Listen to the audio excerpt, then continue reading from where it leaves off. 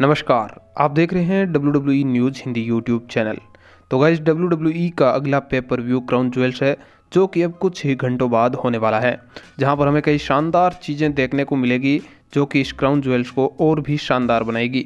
इस वीडियो में हम चार ऐसी चीज़ों को लेकर बात करने वाले हैं, जो हमें इस बार के क्राउन ज्वेल्स के दौरान देखने को मिल सकती हैं। तो वीडियो होगी काफ़ी इंटरेस्टिंग इसे एंड तक ज़रूर देखिएगा। तो क्राउन ज्वेल्स में सबसे पहली चीज़ जो देखने को मिल सकती है, वह यह है कि पॉल हेमन यहाँ पर मदद करे रोमन रेंज की ब्रोक लेसनर को हराने के लिए। इस वक्त पॉल हेमन के सामने सबसे बड़ा चैलेंज इसी बात का है कि वे खुद को रोमन रेंज के सामने लॉयल कैसे प्रूव कर सकते हैं, और इसके लिए पॉल हेमन कुछ भी करने को तैयार हैं। क्योंकि पॉल हेमन भी जानते हैं कि ब्रोक लेसनर डब्ल्यू में पार्ट टाइमर है और वे यहाँ पर थोड़े समय के लिए ही हैं।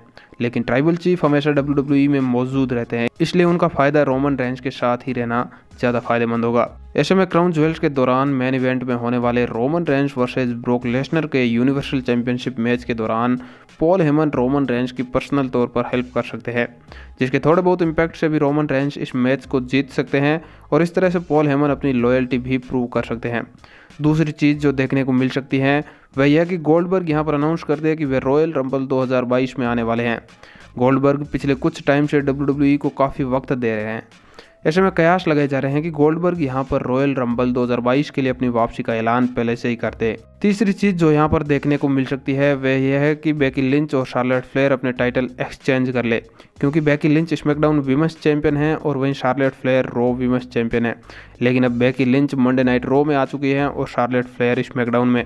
ऐसे में इस बात के चांस काफ़ी ज़्यादा है कि ये दोनों क्राउन ज्वेल्स के दौरान टाइटल एक्सचेंज करती हुई नज़र आ सकती हैं। यहाँ पर Raw women's championship Becky Lynch ले सकती है और SmackDown women's championship Charlotte Flair और फाइनल चीज़ जो यहाँ पर देखने को मिल सकती है, वह एजे स्टाइल्स अपने ही पार्टनर ओमोश के ऊपर हमला कर दे।